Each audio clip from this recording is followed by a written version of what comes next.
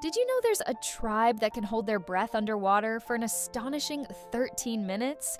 That's right. The Bajau people of Southeast Asia have evolved incredible diving abilities that seem almost superhuman. In this video, we'll explore the fascinating adaptations of the Bajau and how they've pushed the limits of human physiology. So, what's their secret? The Bajau have larger spleens than the average person, allowing them to store more oxygen rich blood. This adaptation lets them dive deeper and stay underwater longer than most humans thought possible. But it's not just genetics. The Bajau's lifestyle and training from childhood play a crucial role.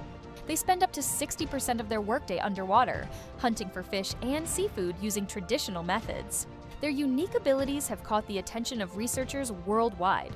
Could studying the Bajau unlock new treatments for respiratory conditions or improve our understanding of human evolution? Stick around to learn more about these extraordinary sea nomads and their incredible breath holding feats.